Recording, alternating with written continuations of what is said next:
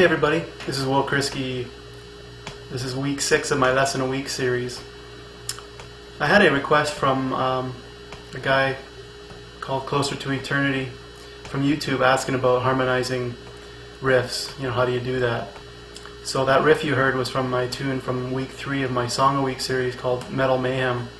Uh, a little bit crazy time signature at the beginning, but essentially I wanted to harmonize the riff that I had at the beginning of the tune. The first thing you want to do is is understand what scale you're trying to use. So, you know, a lot of times in metal, using minor scale. So, let's say you're in the key of A minor, your notes are A, B, C, D, E, F, G, and back to A again.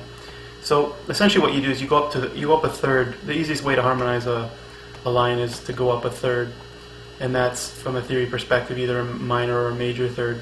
But all you need to really think about is if you're playing, a, say, an A in an A minor scale, you're going to harmonize up a third, so you're going to go up two notes from that to the C.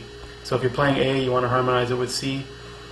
If you want to play, if you're playing a B, you want to harmonize it with D, and so on. So you can just go up two notes from where you are for each note.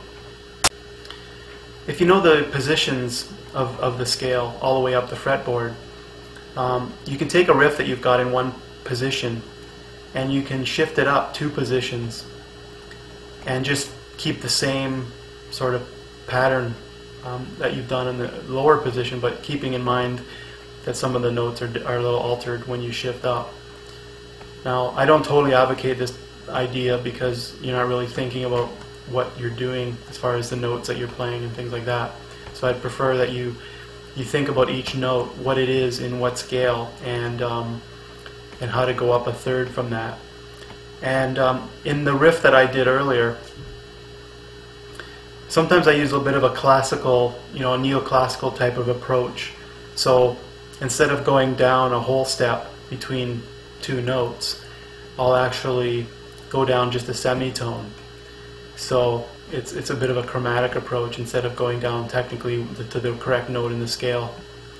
So I'm gonna I put the I'm gonna be putting up the tab right away here on my website so you can see the riff that I did. And um, you know this is basically harmonizing in thirds. It's a pretty standard and probably the simplest approach to harmonizing a riff or scale. And uh, you don't have to just use it for metal. You can use it in lots of different uh, other genres of music. So have fun with that one, and we'll see you next week.